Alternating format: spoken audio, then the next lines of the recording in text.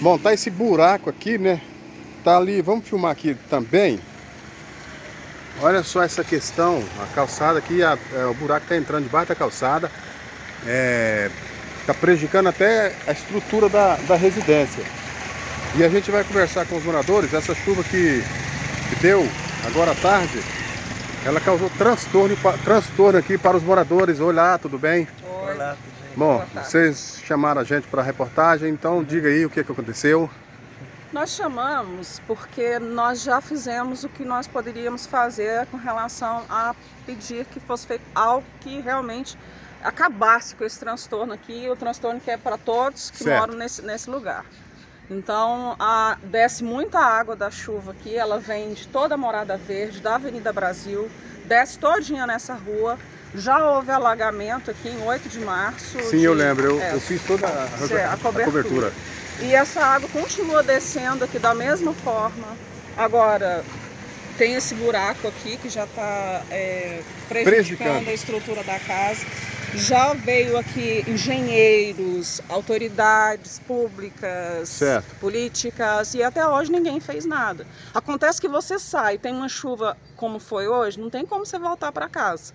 Porque senão corre de entrar água no carro e o prejuízo é maior ainda. Bom, a as coisas lá dentro molham, porque entra água na garagem, sai lá para fora, lá para dentro, tudinho. E o medo de entrar água dentro de casa, nos quartos, sala, é constante, é muito grande. Bom, então, é, é qual que é o seu nome mesmo? É? Simone. Simone, Simone. Guimarães. Simone Guimarães e o seu nome? Marques.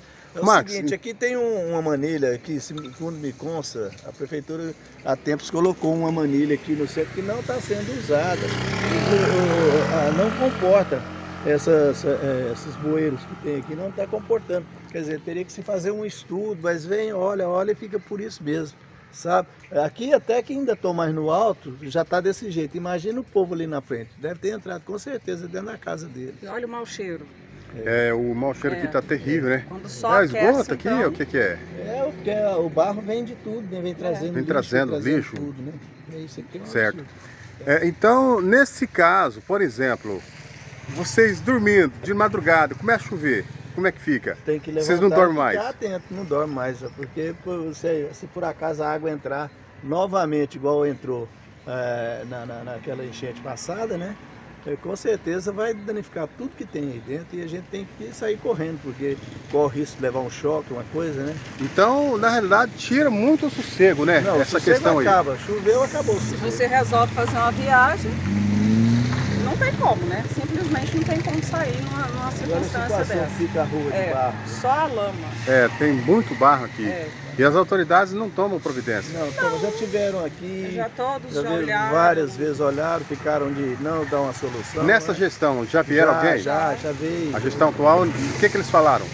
Vieram que eu até me propus em colaborar, se caso liberassem esse lote, a gente faria aqui uma galeria, certo? De fluvial, para escoar essa água. Mas, ah, segundo me consta, é, é, o lote aí está tá embargado e até hoje não acertaram com a pessoa que é o dono do lote. No caso, a prefeitura. É, a prefeitura. A pessoa que ficou desabrigada na enchente passada, ele vive... Naquela última enchente, aquela na, é, que, deu, que deu alagamento, que encheu a casa tudo ali, isso, né? numa casa de aluguel social. A prefeitura paga aluguel para ele até hoje e nunca resolveram a situação desse terreno.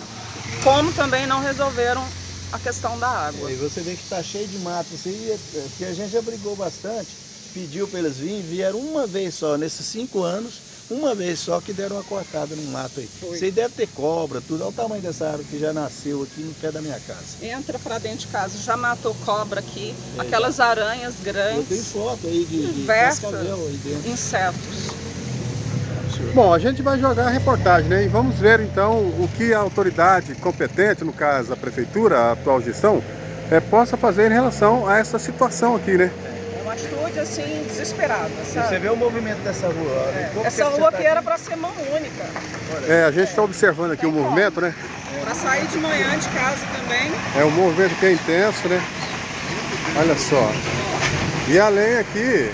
Tem vários é... bares ali, eles estacionam de um lado e de outro. E assim... Aqui, é, o problema gente... aqui ele é bem extenso, A bem gente grande. observa, a gente é. observa aqui o barro, né? A quantidade de barro que tem aqui. Para entrar aqui na residência, suja a casa tudo, né? É, tudo. Tudinho.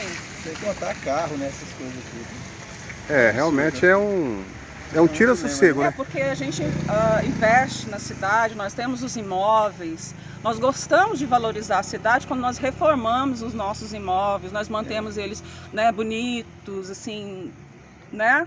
Eu- O problema é que, Aí, de repente, a prefeitura vai e não faz nada por nós, fica difícil, dá vontade até de ir embora. ou seja, a cobrança do imposto vem, né? Bem, Exatamente. Mas as benfeitorias aumentou não vêm. Três vezes depois que a gente está aqui. Aumentou três vezes o IPTU? Já aumentou três vezes. Ah, só que a benfeitoria aqui na nessa, especialmente nessa rua aqui, cinco anos foi só esse, esse quebra-molas que colocaram aqui. Que, é certo, coisa. aqui é córrego da água limpa, né? É, corte de água limpa.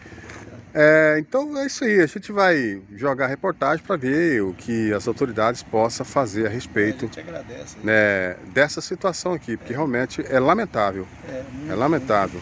Não é só nós, o povo ali pra frente, se você perguntar, É. eles sofrem muito mais do que a gente ainda.